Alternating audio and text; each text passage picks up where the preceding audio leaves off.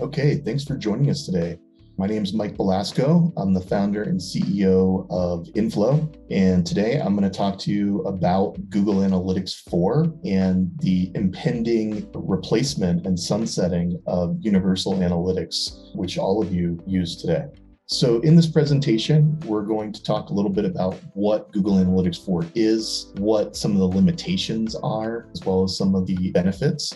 We're going to talk about the timeline and why we need to start setting up Google Analytics 4 now. We'll talk about that phased approach over that timeline to this migration and the specific next steps that you need to take. We'll also cover those. So, diving right in, what is Google Analytics 4? So, Google Analytics 4 is a completely new analytics tool. That's the best way to think about it. Yes, it's still called Google Analytics, but it's completely rebuilt from the ground up. It's added a lot of new features. It's redefined core concepts that you know we've been using for a long time in digital marketing, like users and sessions, for example. And it's coming down the pipe pretty fast here. Universal Analytics is supposed to go away or stop tracking data as of July 1st, 2023, which means, and we'll cover this timeline in more detail, that we only have until July 1st, 2022, if we want to go into Google Analytics 4 with year over year data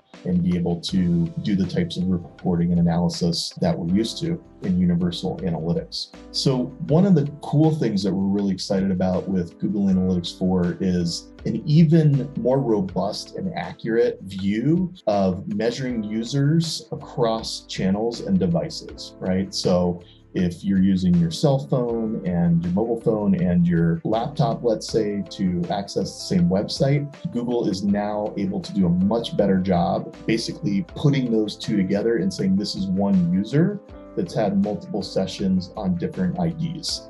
This allows us to really get a better understanding of the customer journey.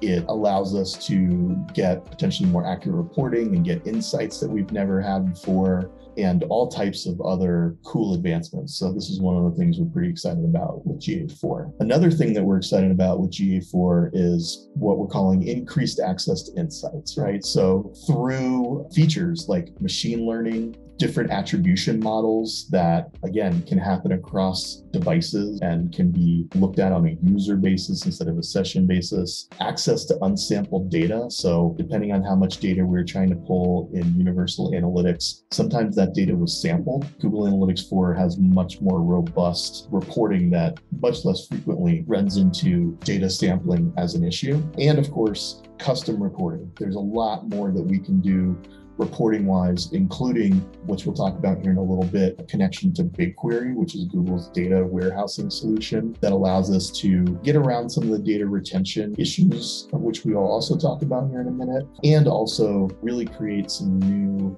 reports, blending data, all sorts of things that, again, could hopefully increase our access to insights to help grow your business. Another feature that we're excited about is Google Analytics 4's ability to surface anomalies, right? So things that are going on that are spikes or dips that we wouldn't normally expect, and, and we want to be alerted so that we need to take action that we can. There's also insights that are served up that, you know, can help look at the data for us and potentially spot things that are patterns that we wouldn't see. They're not necessarily anomalies, but it's interesting stats that hopefully can make us smarter about the campaigns that we're running on your behalf. And contribution analysis, right? This allows us, you know, again, to really dig deep into our analysis and see which channels are contributing and at what levels and how that fits into the customer journey on your site. Another thing here is the predictive metrics for audiences and analysis. So once it has enough data, GA4 will predict what the purchase probability is. So which users are likely to make an e-commerce conversion, for example, in the next seven days, which users are likely to become disengaged and just not even come back to your website. It can even get down to the revenue prediction level in terms of, you know, what types of revenue will be generated from your active users. From that, we can build audiences and we can target these particular audiences and others with advertising that can hopefully reduce the churn or increase the purchase probability or speed up the purchase probability. So, as you can imagine, there are some pretty cool things that we can do with that. In addition, and this ties in with this last one, these audiences and everything else tie directly in with Google Ads. So we will be able to tie all the conversions in and everything else right with Google Ads, bid on those audiences, use them in our campaigns. And the data really is a two way street, kind of going back and forth from our advertising in Google Ads and Google Analytics 4. There are some limitations to Google Analytics 4. I think the first of which, and some of you may have heard of this as you've been hearing bits and pieces about GA4, but to us, it's not fully baked, right? This really is not necessarily a production ready system yet. There are still plenty of bugs. There are still metrics actually that are not available, like bounce rate, which is a pretty common metric. You can still calculate it, but it's not, you know, just available there in Google Analytics. So Google is continually rolling out more and more features and fixing bugs. And we are are fairly confident by the official deadline of Universal Analytics sunsetting again in July 1st, 2023, that things will be a lot better and we're more ready to go. But unfortunately, right now, it's still just about, you know, a little more than half baked, is what we would call it along those same lines, reporting isn't there yet. I think the best analogy I've heard is that with Universal Analytics, you could install it fairly easily yourself. Out of the box, you had 80 to 90% of the reporting and other features that you needed without doing much configuration. Because of all of the new features and everything else, GA is much more configurable. The flip side of that is it becomes much more complex. And right now, with reporting, there's a lot of capability to create these custom reports. There's even a new section called explorations, which helps us answer some of the why questions, if you will. But if you go in there right now, the reporting is pretty sparse and still suffers from some of the lack of data or lack of features that we mentioned prior. And so, again, this is one of the current limitations that we do expect to also improve somewhat. That being said, this idea that it's more complex because it's more configurable really isn't changing. And so there, there will be some work a little bit down the road that we need to do on reporting reporting for everybody in GA4. The other big one, and this is probably the most controversial as well as the most lacking clarity limitation of GA4 is their new data retention limitation. So in Universal Analytics, there are different options for data retention. Most of our clients have chosen the unlimited data retention in Universal Analytics. In Google Analytics 4, the maximum data retention setting that anyone can choose is 14 months. Now, what we recommend to get around that and what Google has provided to help get around that is a free data export or streaming data from Google Analytics 4 to BigQuery. Again, BigQuery is another tool in Google's cloud system. It's meant for storing and querying large amounts of data. And so in this process, we'll be helping all of our clients set up a little data warehouse right now just for Google Analytics 4 data and set up that connection so that data is getting fed in there and we're able to report out on that data, for example, in Data Studio or even sometimes in Google Sheets from BigQuery without potentially running into that 14 month data retention issue in the Google Analytics 4 interface. So the reason again that we need to get going now is that, you know, we've got Universal Analytics running. It's working well for us. It's been working well for us for a while. And again, that deadline for collecting year over year data in GA4 is coming up July 1st, 2022. Google just recently announced the 2023 official deadline, making this 2022 unofficial deadline essentially happen. And we've been working for the last several weeks to try and get a process in place and get everyone over. We didn't want to start earlier than that because, as I mentioned, Google Analytics 4 still is sort of half baked. It's not ready to be used in a production environment. And we'll talk a little bit more about what we're going to do between July 1st, 2022 and July 1st, 2023. The other date that you should be aware of is January 1st, 2024. And that's when all access to Universal Analytics and the interface will end. And so that means that if we want to capture some of that data and make sure that we have it, you know, even further back than year over year data, we will need to devise some sort of export. The rumor is that Google is going to be creating a tool. We also know of several other organizations that are creating tools to help with that process but that is another step that we'll eventually want to take so that you do have the historical data as much as possible out of universal analytics when it shuts down. So in the meantime, you know, you may be saying, well, why should I even set it up? Again, it's so that we get that year over year data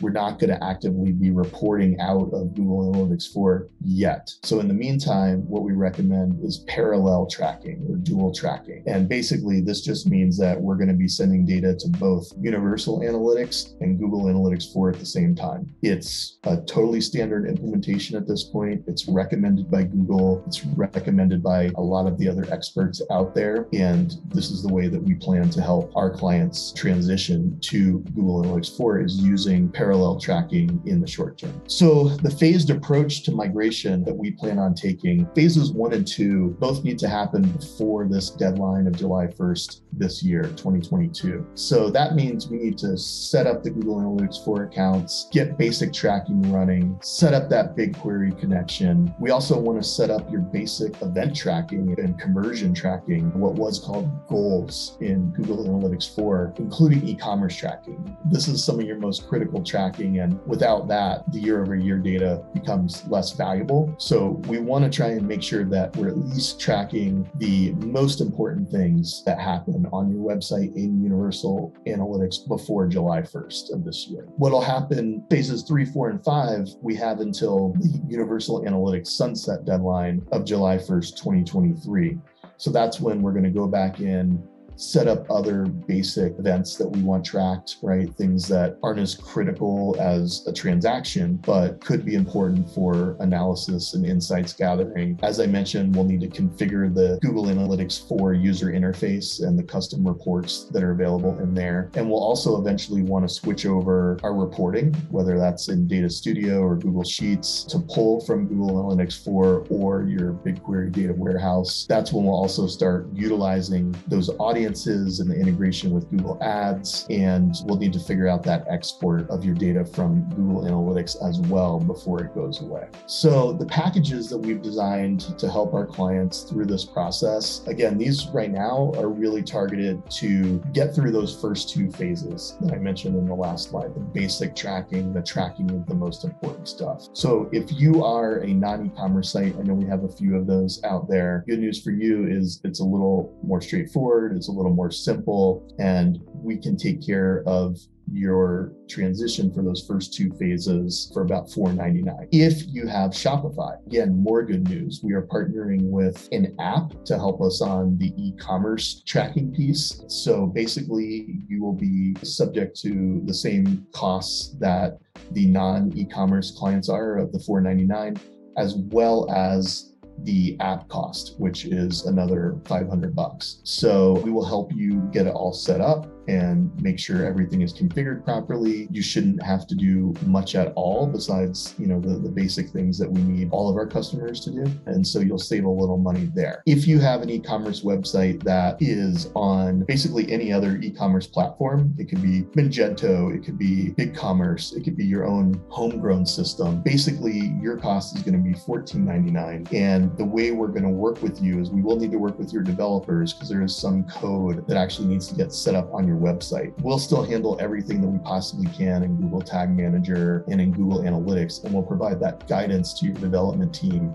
on what needs to happen on your website to get full e-commerce tracking for Google Analytics 4 set up. But it is a little bit more of a custom job. And so the cost is a little bit more than our Shopify customers. So the next steps First, you need to decide if you would like our help on your Google Analytics 4 migration. Either way, you'll need to let us know about what your plans are in terms of that migration. And so we've set up what we're calling our GA4 form, and you can just quickly fill that out and let us know if this is something that you'd like our help with or what your other plans are to meet these deadlines. If you decide to work with us, we'll get that information from you. Obviously, we'll send you a statement of work to review and get started. And then we will kick off the migration or the setup steps. The first thing is we will send you some step by step instructions to get some of the basics set up. We need you to set up your own actual account and then give us access so we can do all the configuration, for example. Same thing with BigQuery.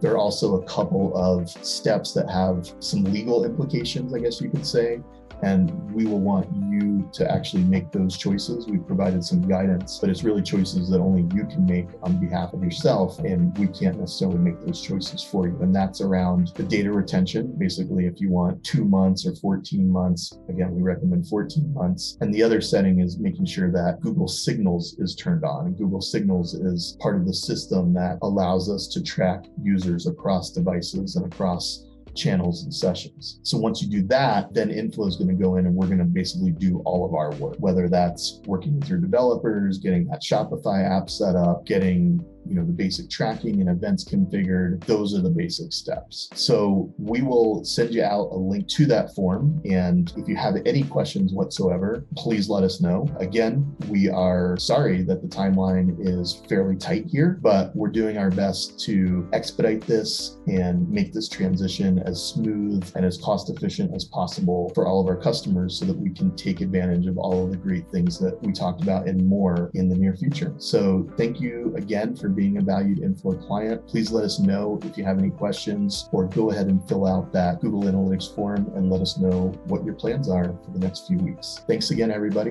and I hope you have a great day.